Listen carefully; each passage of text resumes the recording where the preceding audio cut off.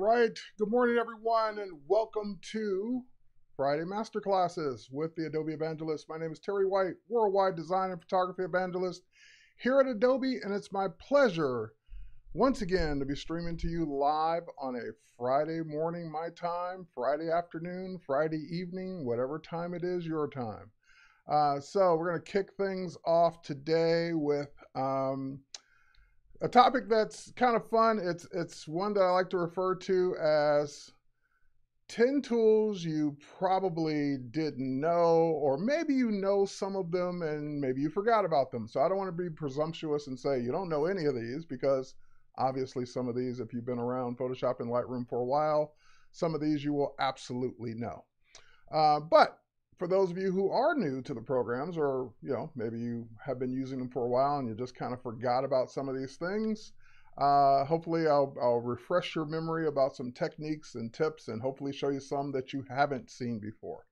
All right, so with that said, um, thanks everyone for being here. I see a bunch of people in the chat already, like Mike and Moat Avoid and Viola Steve, Victoria, Sean, General Kenobi, once again, uh, Caroline, um, Roger, and I thought I saw Tim a minute ago. I'm sure he's here. I, I know he's here. Christine, Fury, welcome everyone. And uh, let's go ahead and just remind everybody if you're watching this on Twitter, you're watching this on my YouTube, you're watching this on a Creative Cloud YouTube, you're watching this on Facebook, wherever you happen to be watching this from, that's cool. You can hang out wherever you are, uh, obviously, and watch it wherever you feel comfortable, wherever you like to watch things.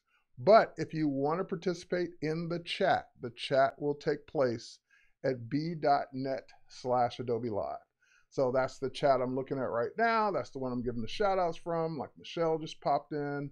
Uh, so if you want to ask a question, if you want to say something, uh, I can't monitor all the chats and do a demo at the same time, so that's the chat I'm going to be focused on. Uh, so once again, thanks everyone for being here. And without further ado, since I always run out of time with more content than I have uh, time, I'm going to go ahead and dive right in to um, 10 tools. And it may not be a tool per se, it may be a technique or it may be a filter, it may be a menu item, but 10 tools you uh, probably didn't know about in Lightroom and Photoshop, or Photoshop and Lightroom, or Lightroom and Photoshop. I don't know. We'll start with Lightroom. All right, so switch over to my desktop. And I've got my desktop open here. I'm in Lightroom Classic. Uh, we'll be doing Lightroom Classic, Photoshop, and I may pop open Lightroom as well. But uh, those are the main ones we're going to be talking about today. And again, 10 things and I know that I could do 10 things at you know my eyes closed so we're probably going to get way more than 10 so let's cram in as many as we can for the time we have. All right so with that said uh, first one and this is an oldie but a goodie. Let me bring back up my notes so I can make sure I, I don't miss any. This is an oldie but a goodie but this is one that's been in Lightroom Classic for as long as I can remember and it's down here on your tool panel when you're in grid view. So if you don't see your tool panel, like I don't see mine anymore, hit the letter T to bring it up for tools, T for tools.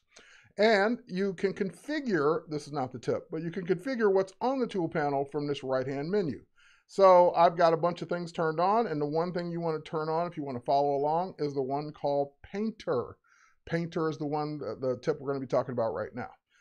So what's Painter? Painter is this little paint can in the bottom left-hand corner of your tool panel. And this paint can allows you to quickly and selectively apply a bunch of things to a bunch of photos um, just by spraying them. That's, that's why it's a paint can. So if I click the paint can, um, it picks the tool up and then I can choose in this menu to the right of it what I want the paint can to do. So if you wanted to apply a bunch of keywords, you wanted to apply um, color labels, if you wanted to apply a flag, like a pick flag, a star rating, uh, specific metadata, uh, settings to the photo itself, or uh, rotation, which I'm on right now, or you want to put it in your target collection. You can do any one of those things quickly and easily. So for example, I'm on rotation, and so rotation gives me the choices of rotation. So I can either rotate uh, left, counterclockwise, right, clockwise, flip the image horizontally or vertically. So this is very helpful if you had a bunch of images that came in, maybe you were pointing your camera down and sometimes it loses its orientation when it's pointed down like that. So some may be vertical when they should be horizontal, some should be horizontal when they should be vertical. This would be a quick way to change them. So for example, I've just, none of mine need changing, but I've got these on uh, rotate left counterclockwise. And so now if I just spray, just wipe across the images, you can see how quickly that is. Um, so Fury says, I didn't, I didn't, didn't even know about the painter. Yeah, that's that's what today is about. Just showing you things that have been in these applications for several months, if not several years, and a lot of people just overlook them. They never see them, so that, or they never pay attention to that icon, so they never go in to see what it's all about. And obviously, I can undo that, put them all back. And if I um, go back, I'm still on the painter, so if I wanted to go in and mark them all with a color label, I can go to, to the labels. I can say I want to mark certain ones green. So I don't have to go, I don't have to go directly in a row. I can just click. I can click and drag I can do it selectively. I can skip ones that I don't want to be green and I can click on the ones that I do. So it's a way of applying things quickly to photos visually because you're just looking at the thumbnails and you're going over it. Uh, so um, this is making my day. A bunch of people are saying they've never used this. This is sorcery. This is uh, the spray is so cool. So uh, that's letting me know that I'm on the right track, showing these kinds of things that have been around but a lot of people just, again, never see them or miss them. All right, so the spray can, once you're done with it, because you still have it in your hand, so it's still showing me, and that's kind of cool. It's even changing the icon to green, letting me know that I'm going to be painting with green if I do this. Once you're done with your, your spray can, you click to put it back. So you basically pick it up, spray. When you're done with it, you click back where it goes to put it back or set it down. All right, the next one. And this is one that's been around for a while. Uh, let me go into one of these here. Let's go into develop. So I just went to the develop mode for module for this particular photo. And as you can see, this photo is already in color. It's got a nice pink mask and COVID vaccine, so forth and so on. If you want to quickly, like instantly get to a black and white, you know you can go use a profile, you can go change the color, you can do, go do all these things, but hitting the letter V as in Victor will quickly change your photo or selected photos to black and white. So it changes the mode to black and white so you can instantly see what that image is going to look like as a black and white. And then hitting letter V again puts it, restores it back to whatever it was, in my case, color. So letter V quickly for a black and white when you want to see what that image might look like as a black and white without having to go find it in, in, the, in the menus or whatever. Now, side note, what if you wanted to do multiple images at the same time? So I select these four, I go to my develop menu, and again, this is something I've been using since day one, but I just wanna make sure you see it. There's something down here, and this wasn't in my top 10, but this is something that you should know about. It's called auto sync because by default, it's off. It's on sync. And that means that it will only apply um, the same edit to multiple photos if you click it. But if I turn it on and I leave it on, I never turn it off except for when I'm showing a demo. If I leave it on, then that means no matter what I do to one photo, like I've got four photos selected, but I'm on one, it will do it to all of them. So if I hit the letter V on this one, they all became black and white, as we can see down here in the film strip. So they instantly all became black and white, as many photos as I selected, quickly and easily, um, applying the same edit to multiple photos. So that's uh, a fast way to do that just by having um, your Lightroom Classic set to auto sync. Now, I know a lot of people are using Lightroom or Lightroom on your mobile devices. Sadly, Lightroom on mobile and Lightroom desktop, I'm not talking about Classic, I'm talking about the other version, does not have auto sync, but it does have the next best thing, which is copy and paste. So if I um, Let's undo, undo, put those back.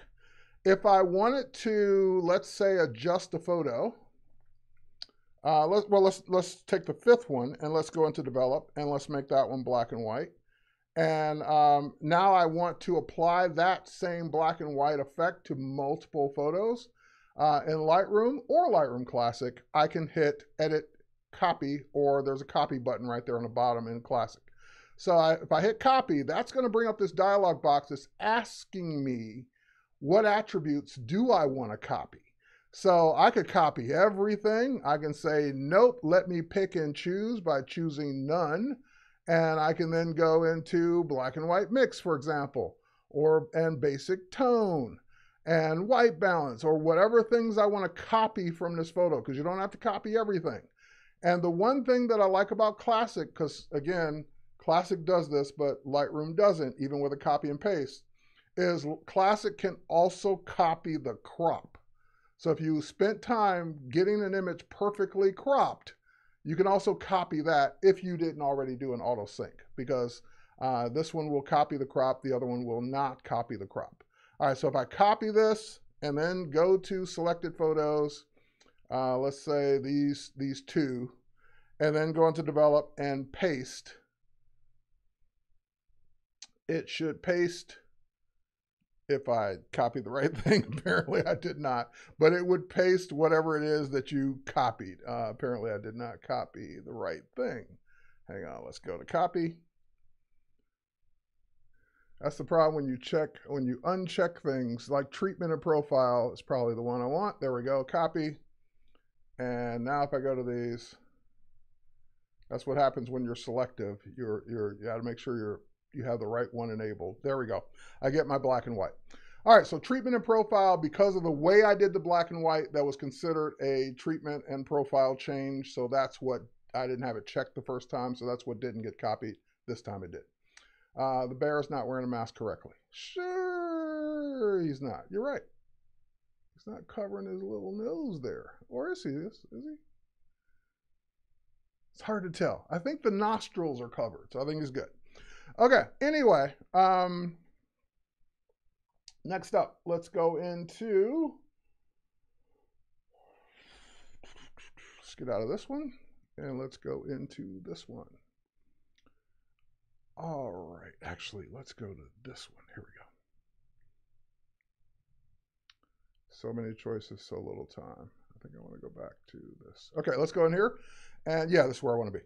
All right, so I want to go to this photo and let's develop it. And let's go in and show you another. This is like, I would say in Lightroom, 99% of the um, features are exposed, meaning it's a menu option, it's an icon, it's something you can visually see to do something. But there's that 1% of features that don't have an icon and in some cases don't even have a menu item. Like it's just you got you have to know how to do it. And one of those items, the one that comes to mind, is setting your black and white points to increase the dynamic range.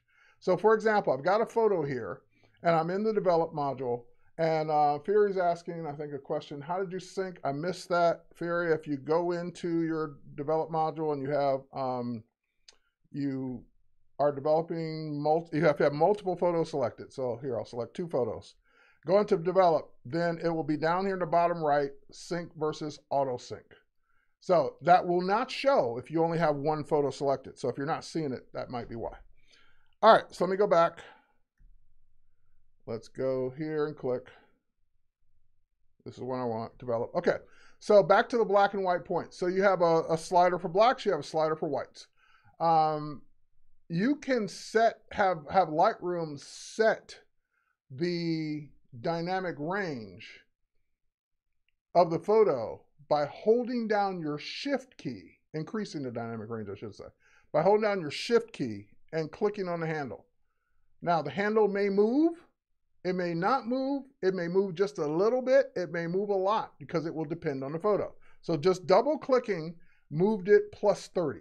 Now if I double click black, it moved it negative 16. So that increased, it auto estimated what the dynamic range of the photo should be based on shift double click. So every photo is going to be different. Every photo is not going to be the same numbers. Every photo may not, you know, may move a lot, may move a little. It just depends on the photo. Just depends on what you're working with. But that shift double click the handles for black and white, blacks and whites, is one that I, I, don't know that there's a menu option for that. I don't know that there's a right click or anything for that. I just know that you have to know the shift double click. Okay, while we're on this particular photo, this particular photo I shot back uh, in December um, 2020, 2020. Um, and I shot this with my iPhone 12 Pro Max. However, since that time, we have come out with a profile for Apple's RAW. So Apple ProRAW has a profile now in your um, in your profiles. Now, luckily, uh, unless you have old photos like I do, photos pre this profile, you won't have to worry about it because when you bring in those ProRAW photos into Lightroom Classic or Lightroom, it will automatically pick this profile for you. So when you shoot them even on your phone and bring them into Lightroom Mobile, it'll automatically pick this profile for you. But if you've got some older photos in your catalog or in your collections that don't have uh, that profile applied, you can go and apply it after the fact. And what this will do is it will apply a look to your photos to make it look more like it did on the back of your phone. Because uh, the you know a lot of times we shoot a phone, it's vibrant blue, looks great, so forth and so on.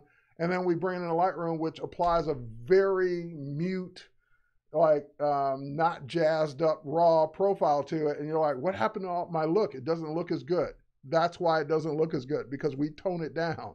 So this is for people that were saying well i want it to look as good as it looked on my phone you can apply that profile. Now watch what happens. I'm going to put it back on adobe color which was the default. Doesn't look as good.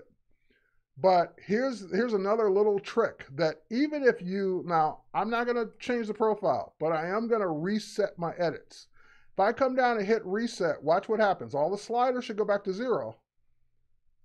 But it also applied the profile. It's saying, I'm even going to set this as the default for this image because I know what this image was shot with.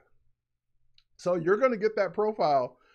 You, in other words, you get, now you have to go out of your way not to have it. You'd have to go change it to something else, except for, again, the photos that were already in your library. But if you reset those photos in your library or just choose it, you'll have them. All right, next up. Um,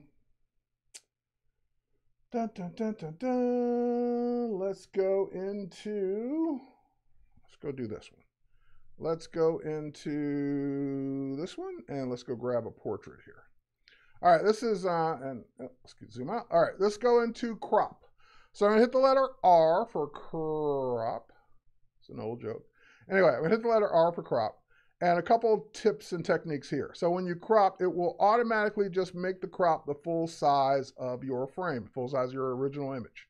And you can go in and change your settings. You can say maintain the aspect original aspect ratio. You can lock the original aspect ratio. You can unlock it so you can crop freely. But one of the things again that's that's kind of hidden is what if I wanted to turn this landscape oriented image into a portrait? Let's say I want to print out a portrait size, a, a 8 by 10 or 4 by 5 or whatever. You can hit the letter, while you're in the crop, you can hit the letter X on your keyboard to turn the crop. So that will turn it. Now, it's going to turn it in the in the same aspect ratio, so it may not work perfectly for you, but you could always, if you're unlocked, you can always expand it out to whatever it is you want it to be. And of course, you can also um, change it to um, you can change it to an aspect ratio that you want. So if I wanted a 4 by 5 8 by 10 that would be the, uh, the aspect ratio to give me that crop. Okay, I'm going to escape out of it. I'm going to hit the crop again to, to reset it back to normal. And the next thing, um, is it the same as working with working in RAW or a pseudo RAW? Is what the same? Christine, I'm not sure what you're referring to when you say is it the same. Um,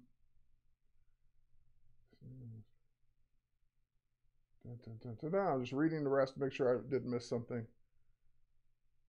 All right, I, I, I expand upon your question, and then I can hopefully address it.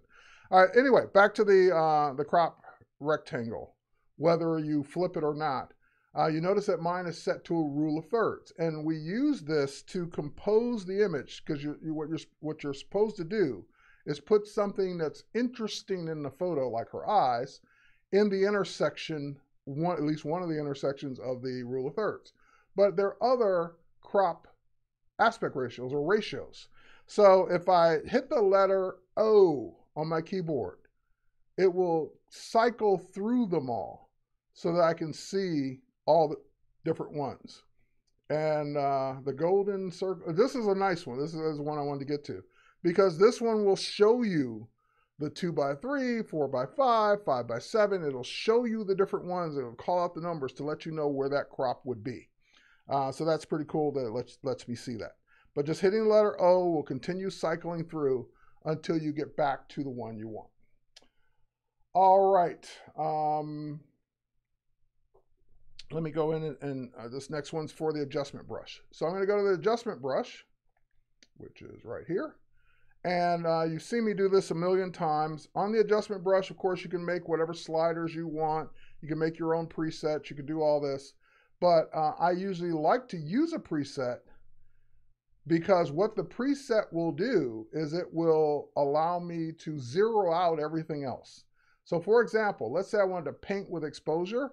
Well, that all that simply does is zero out everything else and gives me a little bit of exposure. So now if I start painting like under her neck, which is too much exposure, uh, I can pull that down and I can adjust it. But you notice it gives me that little point, that little um, that little point in the middle. That little point, when you hover over it, will show you first what you painted. But if you right click on it, here's what people don't really, really realize. First of all, you well, even if you don't right click on it, you can move it. So if you painted an area and you didn't get it just right, you can move the whole thing around and put it wherever you want. Secondly, you can duplicate it. So you can put a second one down. So remember, I always make the joke, you can't go beyond 100 on the slider. So like if I go up to 100 exposure and 100 is not enough, or I go to 100 dehaze, and a, which I probably wouldn't do. But if I go to 100 texture and 100 texture is not enough, I can duplicate it and literally have 200 texture because it's duplicating that effect on top of the original. Now the original is there. I can still move this one and put it wherever I want. Uh, so I have this one to choose from and this one to choose from, and they both have their own settings. So if I go to that one and say, well, that one's too bright, I can turn that one down and the other one will stay exactly wherever it was as bright as it is. And I can move that around and kind of create these cool effects as I do that. I should have did that in the special effects one last week. Anyway, um, you get the idea. So as many of these pinpoints as you put down for your selective adjustments, such as um, healing brush, the healing or not healing brush, the adjustment brush, the radial filter or graduated filter, you can duplicate them and up, double them, double them up, triple them up, whatever it is you need to do. Adjust each one individually, move them around to move the adjustment around, so forth and so on. And lastly, you can also just simply delete them. So if you don't like that one uh, anymore, you can delete it and get rid of that effect since this is all non um, non-destructive. All right, next up, uh, let's go into, we did that one. All right, uh, I'm a fan of sharpening in Lightroom. And when I sharpen people, I tend, especially uh, female subjects or subjects with soft skin, let's just put it that way, like children, babies, whatever, whatever it is, somebody that their skin should not be rough we shouldn't be making their skin rougher than it is. Then in that case, when I when I sharpen people, I tend to want to only sharpen the things that should be sharp. Her jewelry, her eyes, her maybe her lips, teeth, clothing, hair, those things should be sharpened, but the skin should not. So luckily, Lightroom has a mask so that you can mask out those things. But Lightroom used to have, Lightroom Classic used to have, a preset called Sharpen Faces. And that's exactly what this was for. It was for sharpening people where you didn't want the skin to get sharper. You just wanted all the other attributes to get sharper. So that I said it used to have it. It went away. But notice I brought it back. Like I still have my sharpened faces and my sharpened scenic. So how do you get yours back? Because they're gone by default. Well, if you go to your presets and you click the little plus sign to bring out the preset menu, and you come down to manage presets. This is only in Lightroom Classic because Lightroom never had it. but you can go create it in Lightroom or import this preset into Lightroom if you want. All right, so um, in Lightroom Classic, we go to Manage Presets, and you'll scroll down until you find Classics or Classic General. You want this; these will both be turned off. All of the uh, the these classic ones will be turned off. I turned back on Classic General and Classic Video which gave me those, and you click save, and that gave me those presets back. So why did I want them back? Because they do what I just described automatically. So for example, watch the masking slider. The presets that Lightroom gives you by default now are none, light, medium, and heavy. So let's say I go to medium. Well, it just moves over the amount to 45. If I go to heavy, it moves it over to 76, but it does not touch masking at all. Now, if I go back to none, then it just zeroes them out. But if I go to faces general, or I'm sorry, sorry, sharpen faces under uh, classic general, it not only moved the amount, but it moved the radius, detail, and the masking. So let me show you what that really did. If we um, if we hold down the Option or Alt key for the mask and slide it back and forth, this would be zero. So this is what the other sharpening does, which every the whole image just goes away or turns white. That means it's sharpening everything. When you mask and you you bring the slider over to just see those details that I mentioned, teeth, hair, eyes, eyebrows, outfit, those are the areas that are now getting sharpened. The skin is, which is now shown in black, is not being sharpened. So this masking slider lets you control what areas of your portrait will be sharpened. And um, that's why I like sharpened faces because it just does that automatically. I don't have to think about it. I could go in and adjust it and say, oh yeah, give me more sharpening, but it will automatically create a mask based on your person so that you get um, so that you only get the areas sharpened that should be sharpened. So now I get a nice sharpen, sharper photo. Um, there we go. I get a nice sharper photo that is uh, not is affecting the areas I want, but not affecting the areas I don't want. All right, next up, let's move on off this photo. Now, um, last week's masterclass, I was showing special effects. We're going to come back to this because I ran out of time. There's some things I didn't finish. But uh, a couple people that especially live here in Atlanta asked, well, where did you shoot this? And this is on a rooftop, but which one? There's lots of rooftops downtown that you can get away with photographing from.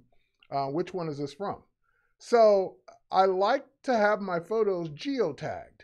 And you'll notice that um, in the one, I, the production shot that I shot with my phone, well, there's a little flag there. That little flag says that this photo, because your phone has GPS, added the GPS coordinates to the photo. So those coordinates come in the Lightroom. Lightroom knows exactly where this photo was. But let's say I didn't have that production shot. Let's say I only had the shots that I shot with my camera and the location was not there. Well, if I go to the map module, which right now I'm on the Eiffel Tower, there's the Eiffel Tower right there. I go to the map module and search for whatever the location was. In this case, it was Georgia. George helps if you spell it right. Georgia Tech Hotel and Conference Center. If I just search for Georgia Tech Hotel, well, lo and behold, it brings it up on the map. And I can even see if I hover over the production shot that's already there, and that's pretty much exactly where we were uh, I can take the other photos that aren't geotagged and drag them to that spot to add the coordinates to them. So now those photos know where they were approximately or know where I was approximately when they were taken. So if I go back to the uh, grid view, now this photo has a little flag and the other photo has a little flag. And whenever you see that little flag means you can click on it to go right to the map to see where this photo was taken. So now that other, there's another photo that I just realized this photo was taken on that same rooftop. It was taken over here though. It's taken right about there. So I can drag photos onto a map again to know exactly where I was when I was taking the photo. And when I export it, if I export it with those coordinates out, the people that are getting this photo will know where it was taken to. All right, next up.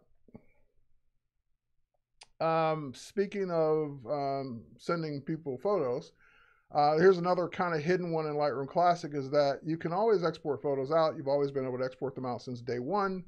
Um, but you typically then have to figure out how to get them to the person. Like, do I text them? Do I uh, email them? Do I put them in a Dropbox? Do I, whatever? How do I get them to them? Well, Lightroom Classic, since a long time ago, has had the ability to email directly from Lightroom Classic. So if I wanted to email these four photos, I could select them, go up to my file menu, and there's email photos right there. It's, it's a menu option right under the file menu, email photos, and that will take the photos, how many ever you select, it will apply whatever export setting you choose. So you could say, hey, make them a little larger, um, high quality, and you can go create your own preset. So if you don't like any of the presets to come with it, like I created one called email for web, email for print, uh, for Twitch email. That was probably when I was showing how to do this on Twitch. Um, you could uh, choose whatever preset you want, and then it, the ones that are built in, or you make your own, and then it will export the photos out, attach them to a new email with that setting, watermarked, however you want to do it, and then you just send the email. Now, this only works with email clients. So Apple Mail, Outlook, so forth and so on. It won't work with a web browser email like Google, Gmail. So if you have a if you have a physical application that it can launch and attach the photos to, then away you go. Now you might say, well, I don't have my addresses here to look up, and you could um, you know type them in. Don't worry, just put your subject in, put your email client, your photos, what quality, and then when you hit send, it will create a new email with all that stuff in it and it just will be waiting to be addressed. And then you will type in your email addresses as you always do, pulling them from your contact list, whatever, however you get them in. All right. Uh, dun, dun, dun, I'm just making sure I'm not missing anything here in the in the chat. Okay. I'm not seeing any burning questions there. All right, let's keep going. All right. Uh, okay, here's another one. This one's kind of been around for a while, but it kind of changed over time. So you see me all the time go from the grid to full screen. That's the letter F. But that wasn't always the case. It wasn't always hitting F would take you into full screen. They made it F takes you into full screen, which I, I, I applaud that decision. But it meant that you also lost the ability to change the what you see when you're not in full screen. Like right now, I'm seeing everything. I'm seeing the menu, the menu, the the the bar for the application window, then all this other stuff. Well, there used to be a way to just make Lightroom full screen without having to do that. So you can do that still, but it's not just F anymore, it's Shift F. So if I hold down my Shift key and hit the letter F, it toggles away the application window bar. If I hold down Shift and hit F again, it makes Lightroom full screen. And this is a great mode to be in when you have clients in the room and you want them to walk over and you don't want them to see, you know, anything else, just this window. Um, that way they, they, they come over to the monitor and they don't see anything but your, your Lightroom with your identity plate and your studio name and so forth and so on. And hitting Shift F again will take you back out. So F goes full screen or not. Shift F toggles between the three views. All right. Um, all right, let's move on to Photoshop. Those are more than 10 things I think I've shown you in Lightroom, but let's hop over to Photoshop now and pick things back up where we were. All right, uh, this is this is the first one we're gonna do. All right, so this one, obviously old style pizzeria sign, taken at an angle from the street, cool. But what if I need it straight on? Like right now, it's tilted up at an angle, so forth and so on, but I need the, the whole sign to be facing me straight on. Well, there is a crop tool that's been in Photoshop for years and years and years, buried under the regular crop tool, and it's called perspective crop. So if I go to crop, this is the crop we normally see. And if I go and hold it down, on the crop tool, the letter C, it will give me another tool called perspective crop. What does perspective crop do that's different? Well, perspective crop, I still drag out a crop rectangle the way I normally would. But the difference is the corner handles are movable. So I don't like normally a crop is either in or out the whole thing. But now I could go in and adjust the corner handles to the aspect ratio of whatever it is I'm trying to crop. So I can go in and say, well, I want that one to be out a little bit more. I want this handle to be up a little bit more to kind of match the sign. So that's what I'm doing. I'm using the handles to kind of match the orientation of the sign. Once I get it matched, and by the way, I recommend if you're doing this, that when you when you start dragging out, make sure one of the corners is, is not going to move. Make sure it's exactly where you want it to be, and then you move the other three. It just tends to work better that way. All right, but anyway, now that we got it uh, kind of oriented, the, the crop rectangle is oriented the same way as the um, as the pizzeria sign. And you also get this grid to help you line things up. So if I didn't have that quite lined up, I can use the grid to get that just right. And I don't have this quite right. So let's get the grid and lay that down. The grid's very helpful in this case. Okay, I got the grid now lined up just right. And now when I hit enter, it not only crops it, but it straightens it out exactly the way your crop handles were set. So perspective crop, an awesome, awesome way of doing this to get something lined up exactly the way you need it. All right, next up, uh, I'm going to close this one and go to this one. All right, uh, we have one of our smiling engineers here, and this is something that um, it's kind of once you see it when you start retouching photos, you can't unsee it once you know to look for it. You're always looking for it. So the the guy's wearing a t-shirt, no problem. But what I what I hate is when I see like obvious uh, not wrinkles but folds or wrinkles on the sides or outline of the shirt. So I normally go in and liquify them. And liquify is not a new thing. It's been around for years and years and years, but there is something new in it. So first of all, I'm just going to go to liquify and I'm going to go fix those uh, areas that I talked about. So I've got my um, warp tool and I can just go kind of like pull that in a little bit so it's not sticking out so much. Pull that one in a little bit. And you typically want to make the size of your brush just maybe slightly bigger than the area you're about to push. And just, you don't end up with dents or things that just look odd. So just kind of straightening this out a little bit. Um, and again, it's a t-shirt, so you know, what can we expect? You know, it shouldn't be expected to be perfect. And you can also pull out. So pulling in doesn't always have to be the case. You can also pull out uh, to kind of fix a seam or just an outline. Now, that wasn't the trick. It was just to get you into Liquify. Now that we're in the Liquify, uh, the one that's kind of fun, and, and people do it now all the time, we use face-aware Liquify. Now, before, if you wanted to like say, well, the side of his face is sticking out a little bit, then you might go in and just warp it in and just kind of even it up a little bit.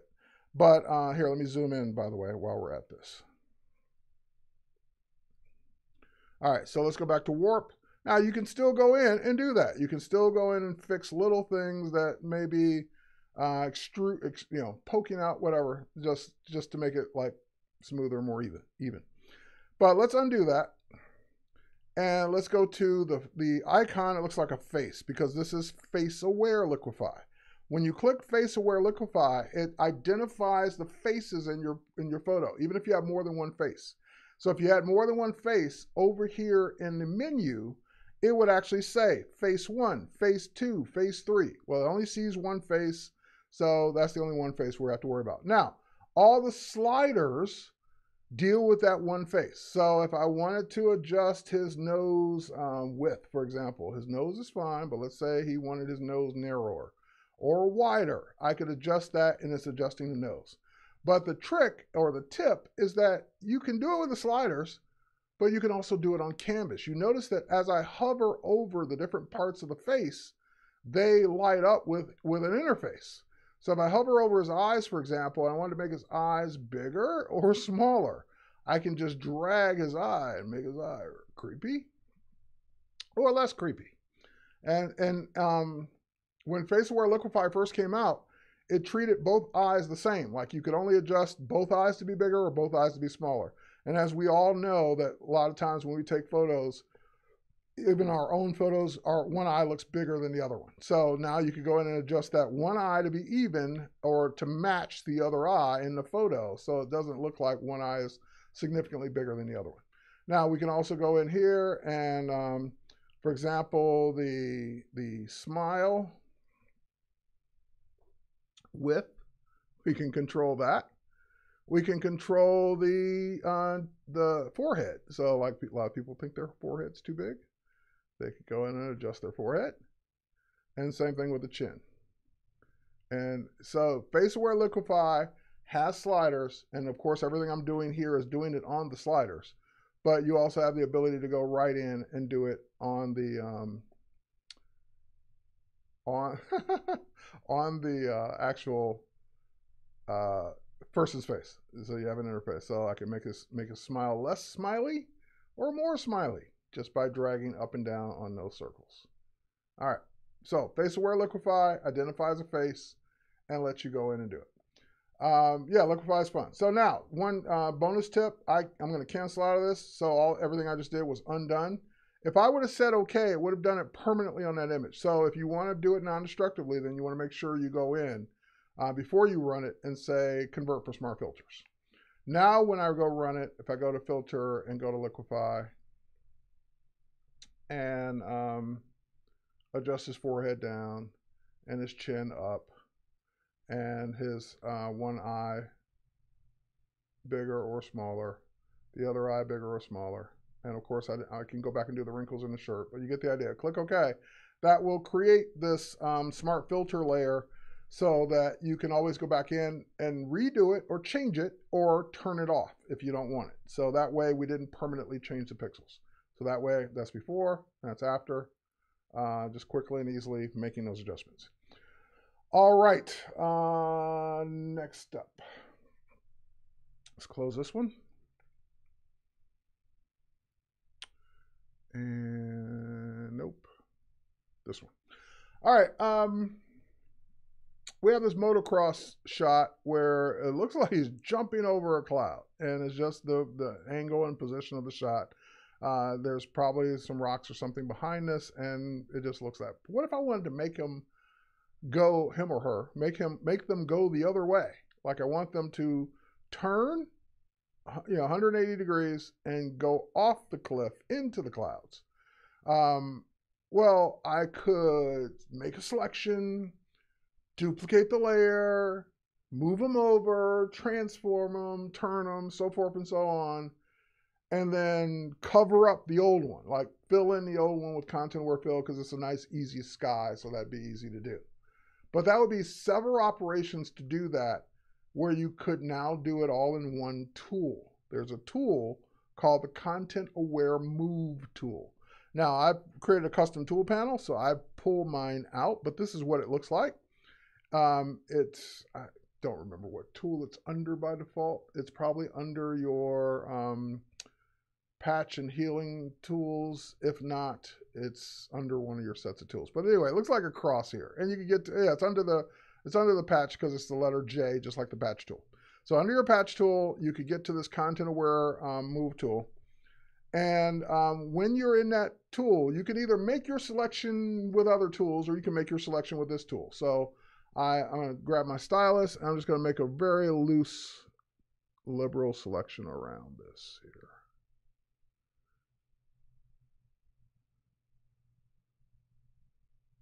Now, I recommend you, even though you could use um, object selection tool or select subject or whatever and get it perfect, I recommend you give it a little space. Like, don't try and make it perfect. Like, I could have made that perfect where it was a tight selection all the way around them, but it actually works better when you have a little bit of a wiggle room around the subject.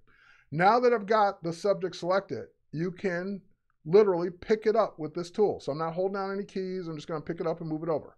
And you'll notice the minute I move it, because I had the check bot or I had the um, option here set to transform on transform on drop. That's checked off.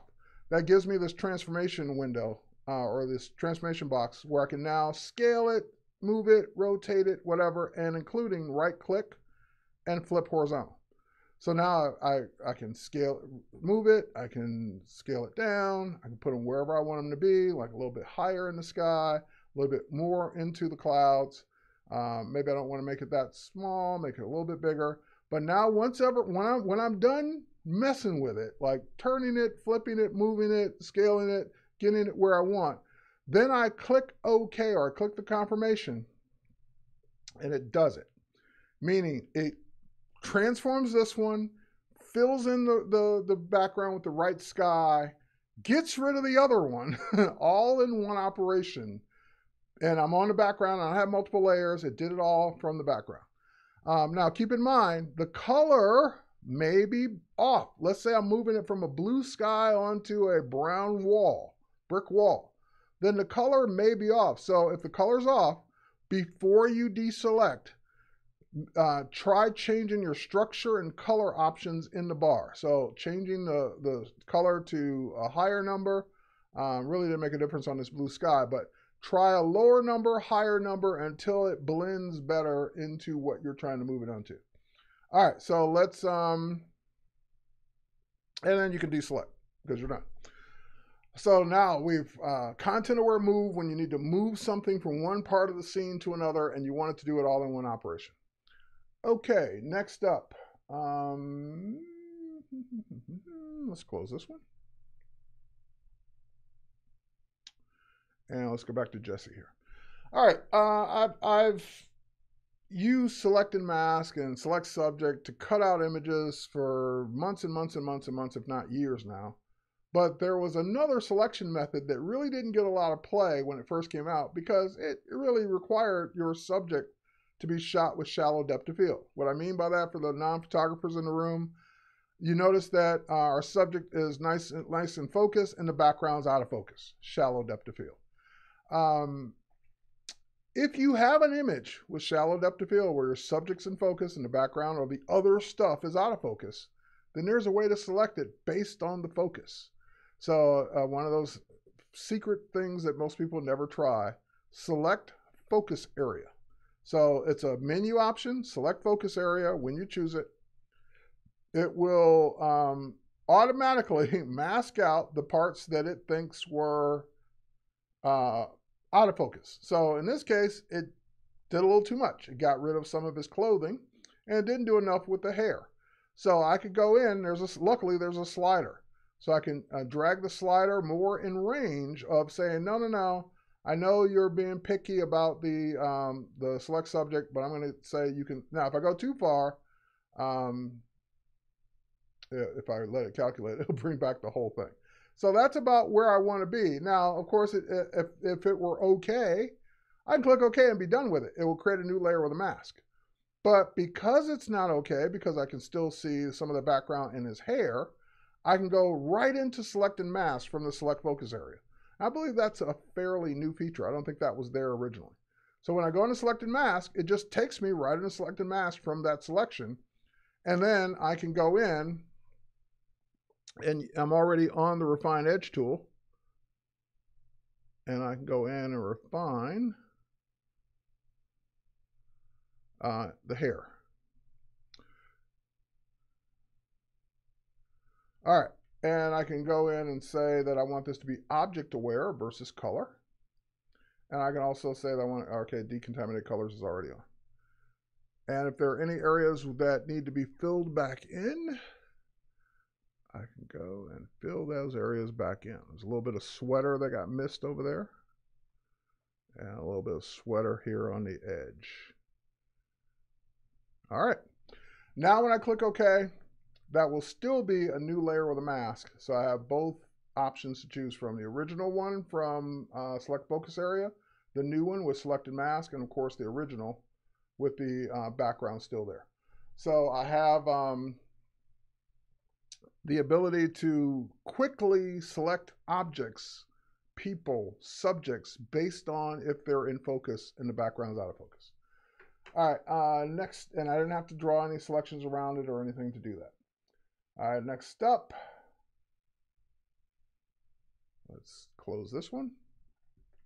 Ooh, I'm running out of time. I got five minutes left. Okay, let's quickly do not that one. Let's do this one. Not let's do this one first. Okay, so you've seen me do edit sky replacement. I've done it like several times since sky replacement came out in October. And sky replacement will do just as the name implies. It will select the sky and it will bring up alternate skies, or you can load your own sky and do a replacement. But a lot of times, we don't necessarily need to do a sky replacement. We just want to edit the sky we already have. So I don't need to go into sky replacement for that because one of the one of the hidden features that came with sky replacement is simply the ability to select sky. Like use that same selection that you were going to use to replace the sky and just simply select it instead.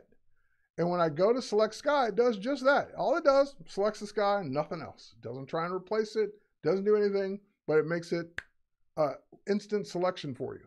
Now you can go do whatever you want. So for example, I could apply a filter to it. I could apply, for example, the uh, camera raw filter to that. And since that's the only part that got selected, it will then go in and allow me, for example, to do a dehaze. And I'm just going to make my sky like artistic and more dramatic. I click OK, and it apply that to the sky. Awesome. But now my reflection is not quite right. So let's duplicate the sky, Command J, put the sky on its own layer, flip it vertically, free transform, flip vertically. Now that we got the sky flipped vertically, let's select that layer Command or Control click, and cut it. So cut it. So now it's on the clipboard. Now we go back to the background and we use our object selection tool. That's right, there's an object selection tool that can work in a lasso or rectangle. And in this case, I need it in a lasso because what I'm going to do is select the other reflection that's already here. So just quickly dragging that lasso around the whole thing. It does a selection of it. And now I'm just going to go to edit or new layer, new layer, edit, paste in, paste special. Another thing you may not know is there. We're used to copy and paste, but what's paste special? Well, paste special gives me the ability to paste in into. So when I do a paste in into, that object is now being masked by that area and I could go in and move it around in that area so I can get the sky exactly where I want it. It's a little too bright. Let's go ahead and lower the opacity of it so we can also bring back some of that mountain too. But that way we get the exact sky reflected into it. All right, last but not least, because I am going to be out of time, let's do this one. Um, this is another big hidden one that most people don't know exists. So I've got the bottle and I've got the word AGFA. So just, just a type layer on top of the photo. But I would love it if AGFA were in a font very close to or if not dead on for what the AGFA bottle was. So while the type is selected, I'm going to go to my rectangular marquee tool and I'm just going to select the word in the photo. So I'm just dragging a selection around pixels because that's not real type.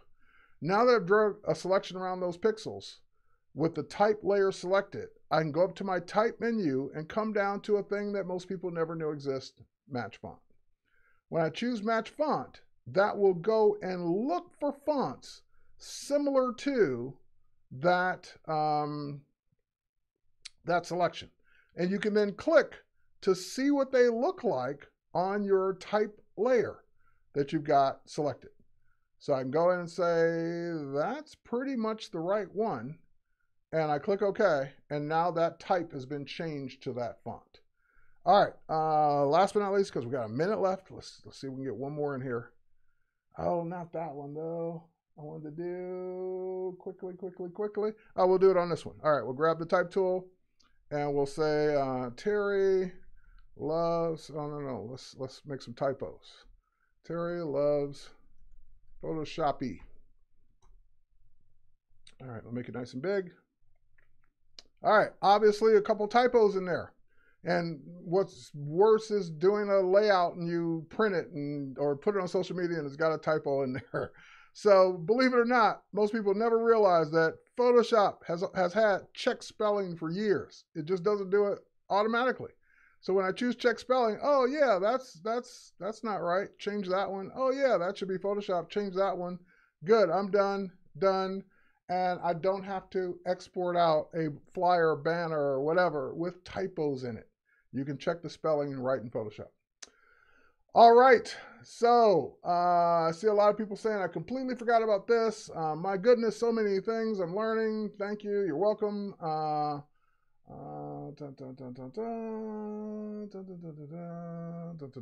okay, we're out of time. So I'm going to end it here because, you know, we don't want to be cut off. And like a TV show, you will be cut off if you're over your time.